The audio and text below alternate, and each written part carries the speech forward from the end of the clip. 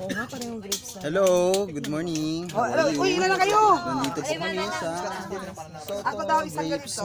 farm. Isang ganito. Okay. Dalawa sa akin. A vineyard, obviously.